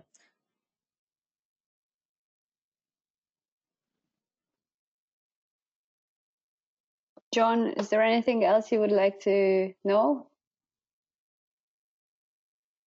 You can unmute. You. No, it's fine. Okay. Is there anybody else who would like to ask a question from Ben? Uh, I don't see anything in the chat so far, but let's give people a little bit of uh, time to think.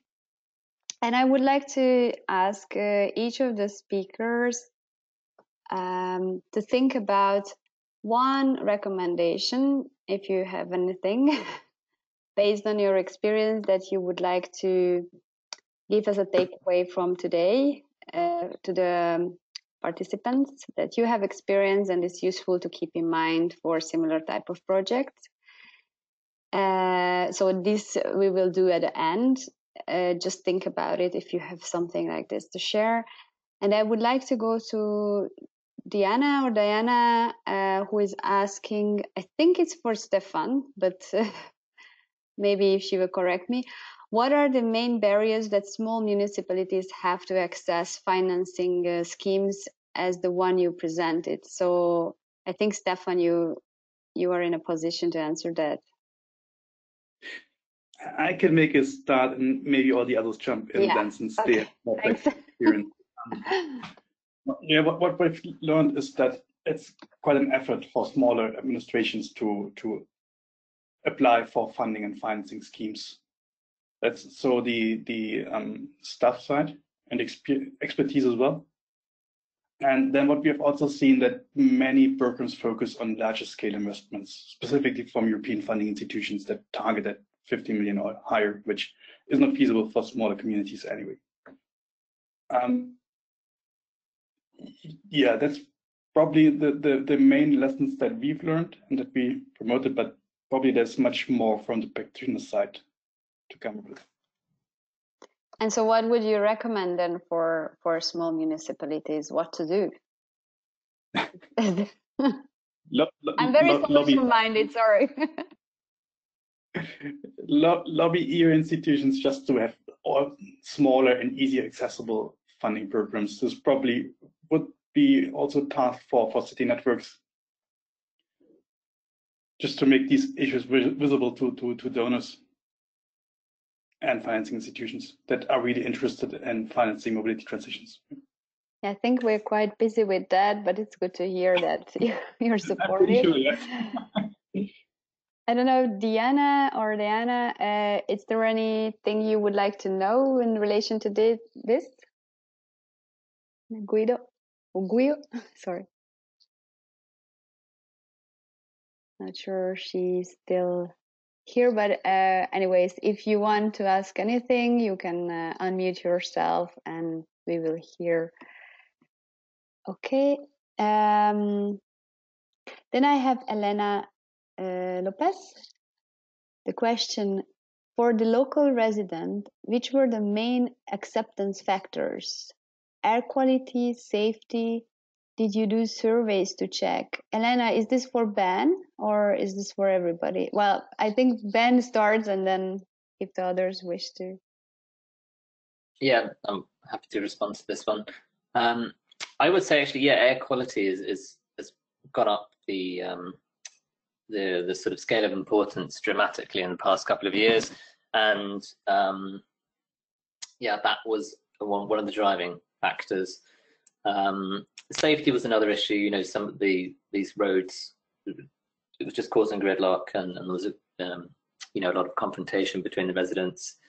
Um, but yeah, I think you know there's a general um, recognition that people want their cities to be more livable. Um, and, you know, and actually since the lockdown, we found that we're getting people, residents writing and saying they loved living in their community when there was no traffic coming through. It was a completely different place. They loved the peace and quiet. Um, and now, you know, traffic has returned to normal. Um, you know, that they're unhappy again. So um, I, I, there does seem to be a big change in, in attitude out there. With regards to surveys, um, we, yes, so we, we survey the school and the, and the children to see how they're getting to and from um, uh, the school and, and when that's changed. But also, as we introduce most of these schemes um, under an experimental order, we the whole period that it's in place, the six to 12 months, we ask residents to, to write in and, and give us their feedback. And, and we often get a, a surge at the end of that, that sort of 12 month period. And we base our decision on that, that feedback.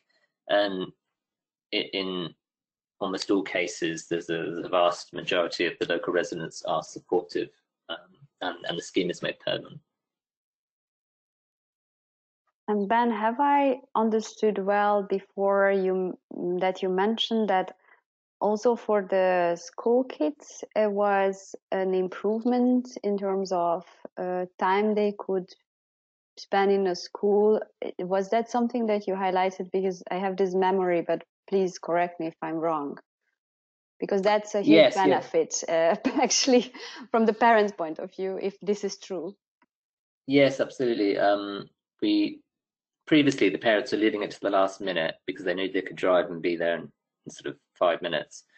Um, now they were they were planning ahead because they knew that it'd be sort of a 20 minute, half an hour walk.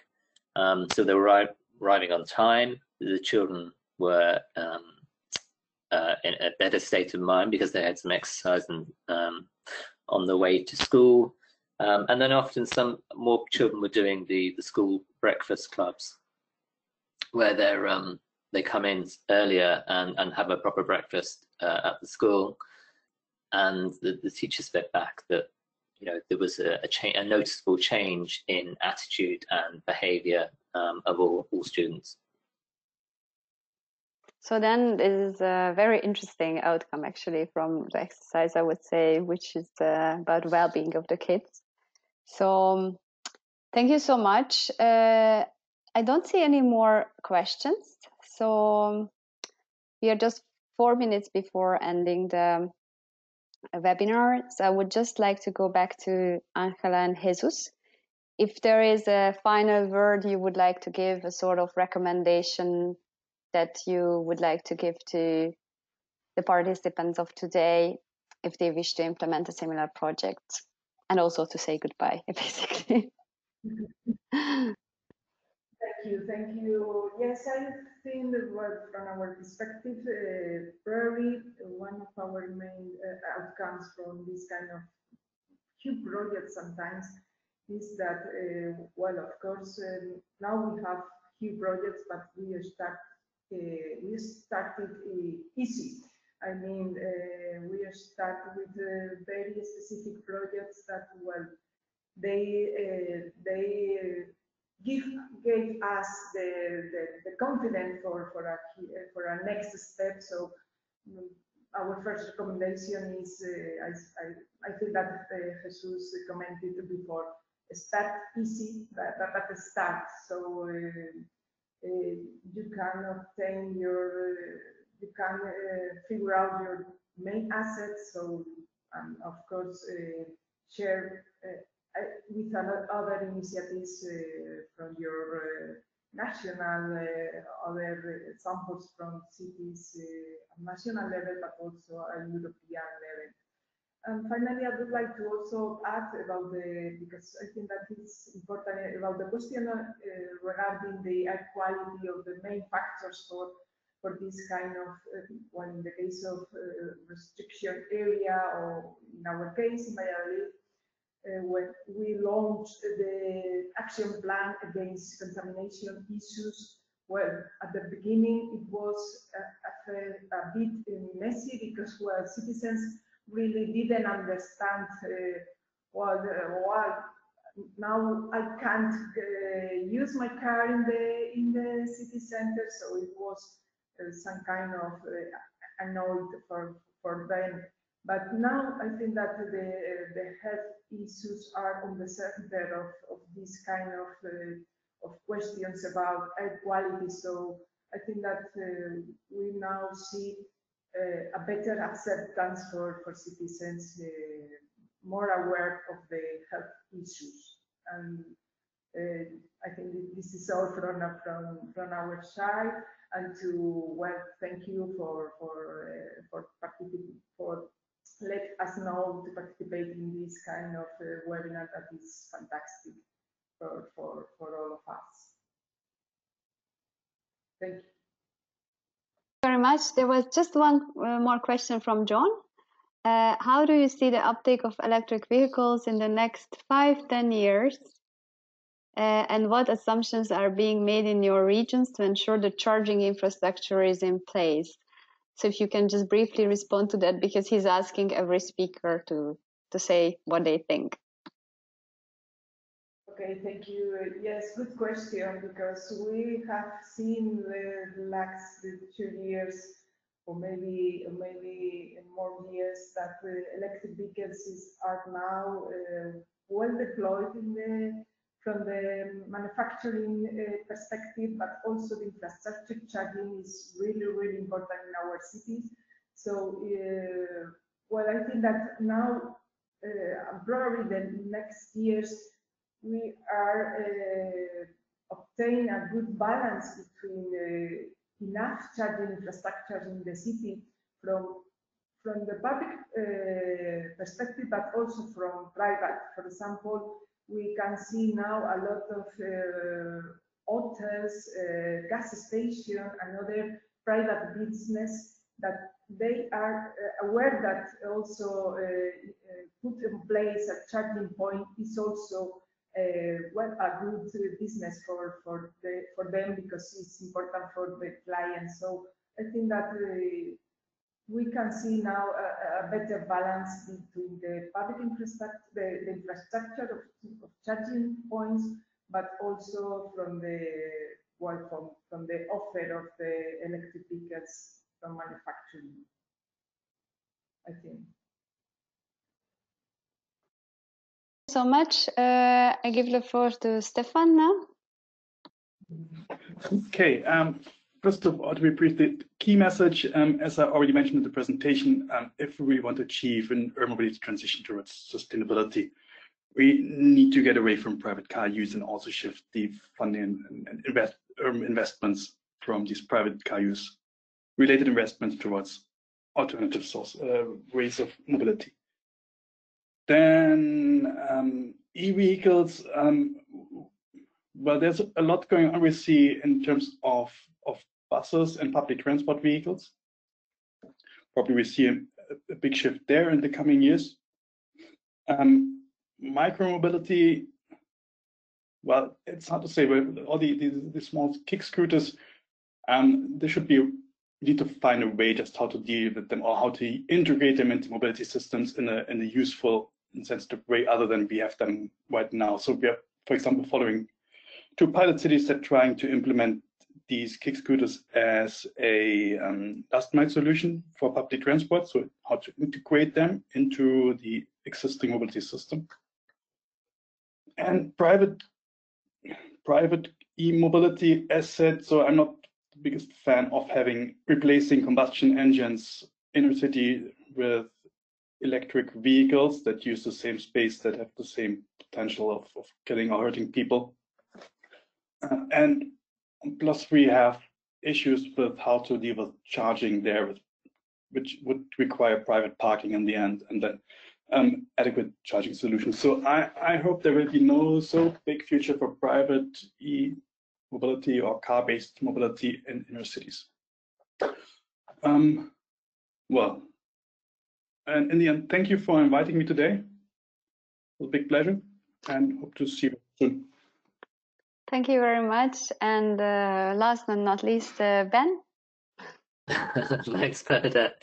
Um, just the electric vehicle charging infrastructure. Um, I, I, think there will be a continued uptake in, in electric vehicles. Um, um you know, it, and it will become normalized. I, I, do have concerns about charging infrastructure.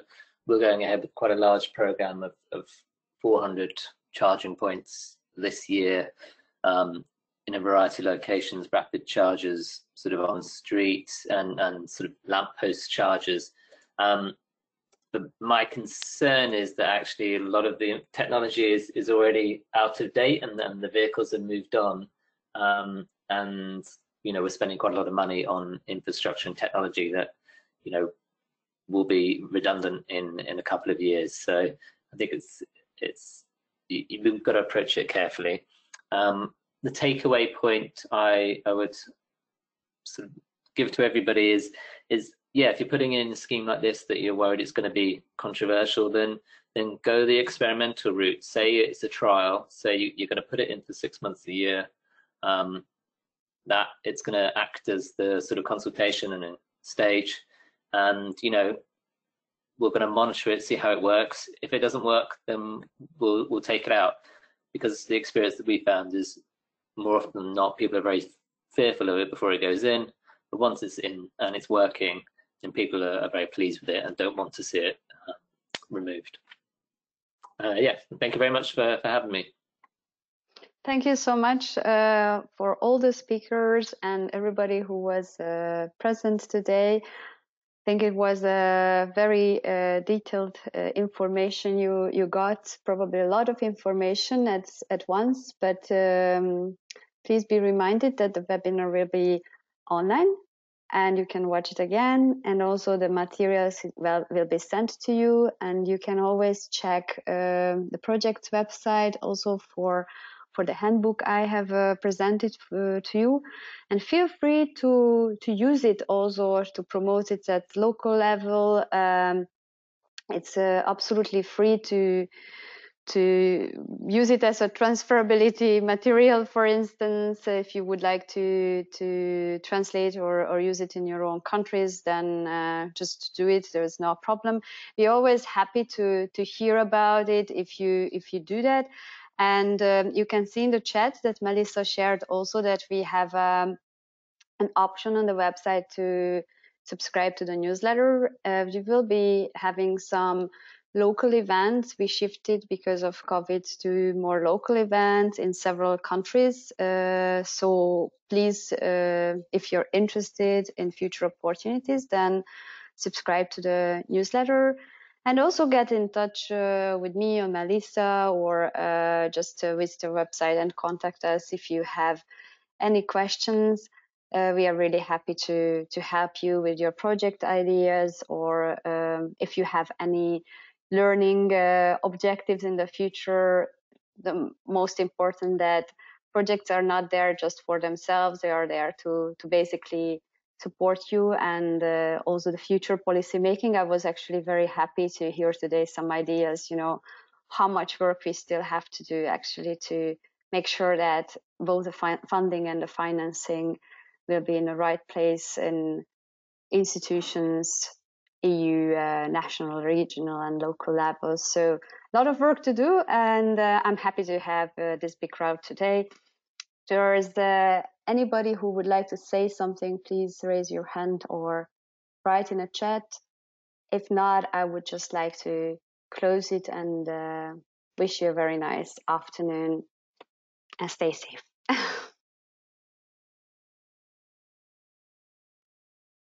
Thank you very Thank much. Thank you, Bernadette. Thanks very much.